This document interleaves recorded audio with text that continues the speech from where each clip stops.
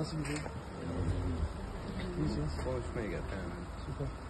Fotoğraflar da gündem oldu. Aynen. Tek, Ya. tek rakibim şey diye. Kek, Sorma. Kerem Bürsin. Kerem Bürsin. millet işte. Gerçek ağırlık. Çok pardon. Nasılsınız Alman? Neler yapıyorsunuz? Ha, Bayağı ama spora galiba şey yaptık. Zaman ayırdık galiba değil mi?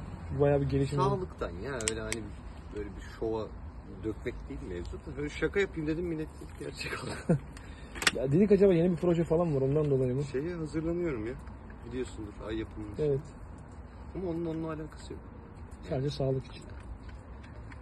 Değil. Hani görsellik için falan bir sağlık için.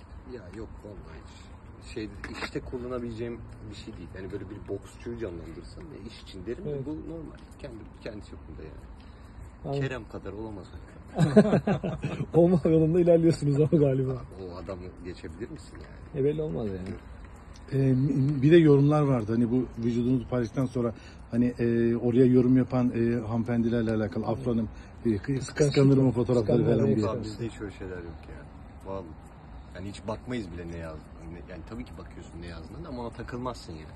Yani onu bir bileylemezsin. Sizin çok güzel giden bir ilişkiniz var. Bunu nasıl be yani becerebiliyorsunuz? Bu Varsa kadar tarifi söyle.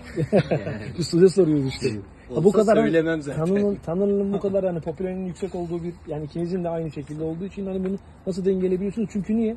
Oyuncu arkadaşlarınız, bazı oyuncu arkadaşlarınız bunu beceremiyor. Yani bir yerden sonra siz uzun yıllardır berabersiniz. onun oyuncu olup olmamakla yaptığın meslekle alakası yok bence ya. İnsanlarla alakası var. Normalde insanlar nasıl yapıyorsa biz de öyle yapıyoruz. Çok öyle mesleki bir şeyden bakmıyorum olaya. Yani normal insanlar bile bunu beceremiyor. Genellikle çoğunlukla ama. vallahi.